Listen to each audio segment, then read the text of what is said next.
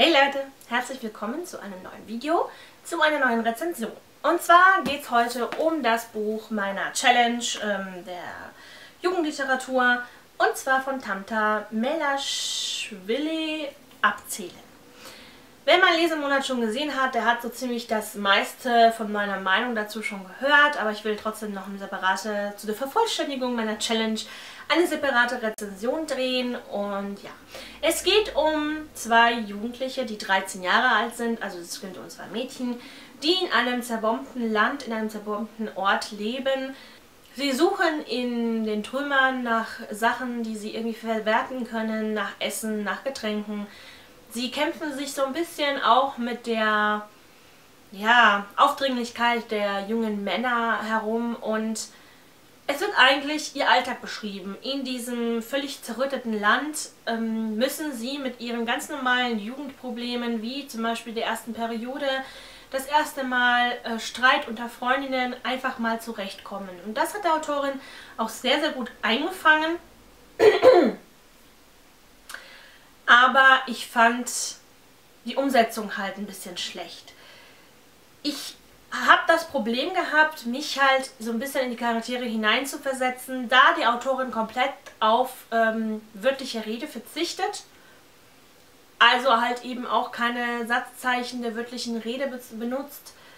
Es wird halt alles entweder aus der dritten Person beschrieben oder wenn jemand spricht, wird es nicht gekennzeichnet, dass derjenige jetzt gerade spricht. Und ich fand das halt sehr verwirrend. Also durch diese komische Distanz zu den zu den Charakteren, weil die halt eben einfach keinen richtigen Dialog mit mir geführt haben, habe ich mich nicht in diese Charaktere hineinversetzen können. Ich habe nicht mit ihnen so mitfühlen können, mitgelitten.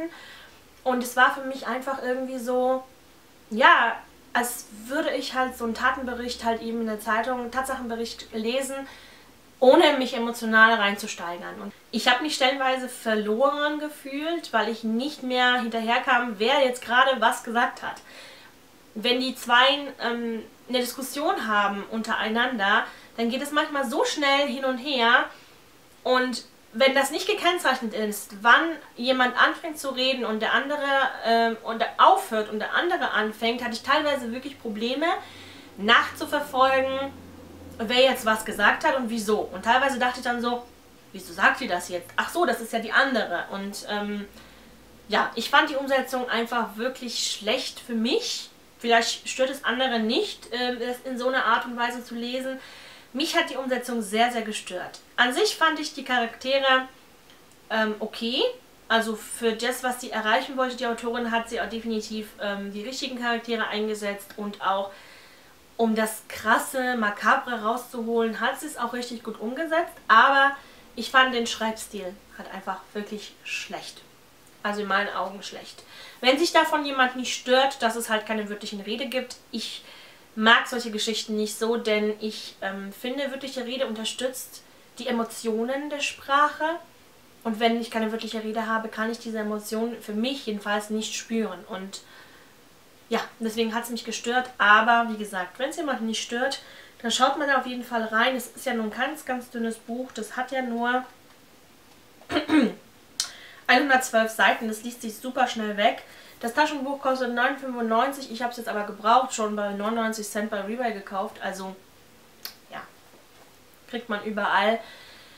Ja, ich kann verstehen auf der einen Seite, warum sie diesen Preis bekommen hat. Auf der anderen Seite finde ich zu diesem Thema Kriegsgebiete und Jugendliche in Kriegsgebieten gibt es noch wesentlich bessere Bücher und deswegen, ja,